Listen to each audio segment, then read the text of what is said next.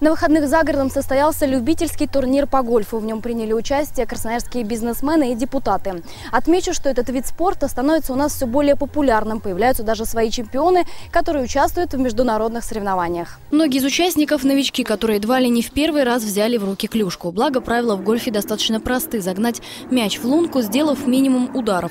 Как говорит победитель отборочного турнира мирового чемпионата Антон Бобрик, этот вид спорта очень зарегламентирован.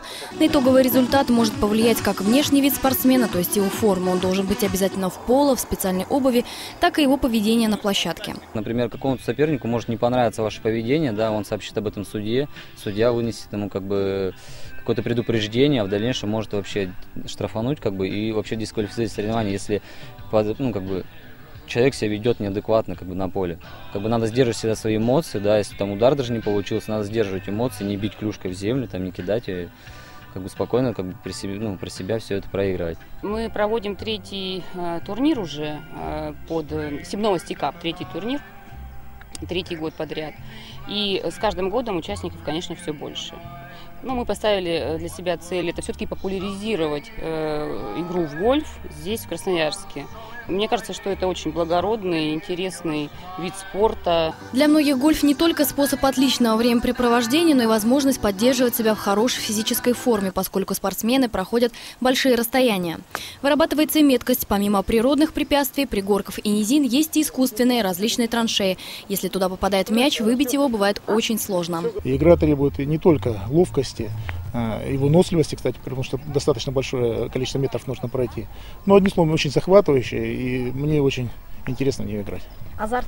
Азарт, безусловно, он есть, присутствует. И немаловажно, мы друг друга поддерживаем еще, это тоже очень важно. Англичане говорят, хочешь узнать партнера по бизнесу, сыграй с ним партию в гольф, потому что за те несколько часов, что спортсмены проводят на поле, все личные деловые качества человека проявляются как нигде. Это увлекательная игра, глубоко почитаемая в Европе и Америке, постепенно и у нас превращается в элемент корпоративной культуры. Первый раз, когда играл, стал чемпионом турнира. Сейчас, к сожалению, с каждым ударом шансы таят потому что есть более такие тренированные конкуренты. Поэтому ну, на, на чемпионство не надеюсь, просто хорошо провести время. Заряд такой бодрости получаем, очень хорошо. На протяжении многих лет гольф остается лидером среди самых элитных увлечений. Инвентарь стоит недешево, цены на клюшки могут доходить до нескольких тысяч долларов. Кроме того, чтобы открыть гольф-клуб, необходимо много вложений. Во-первых, нужно найти поле, облагородить его и постоянно поддерживать в надлежащем состоянии. Следить за кортом должен специально подготовленный персонал. Добавлю, чтобы добиться успеха в гольфе, как говорят профессионалы, нужно много тренироваться. Впрочем, как и в любом другом виде спорта. Благо для этого у красноярцев есть все необходимое. Это поле для гольфа единственное за Уралом, имеющее сертификацию, то есть оборудованное по всем правилам для игры в гольф. Если у вас есть новости, звоните лично мне. Мой телефон 29 29 115. Комментарии к сюжетам оставляйте на нашем сайте afонтова.ру. Наталья Истомина, Алексей Егоров, Афонтова новости.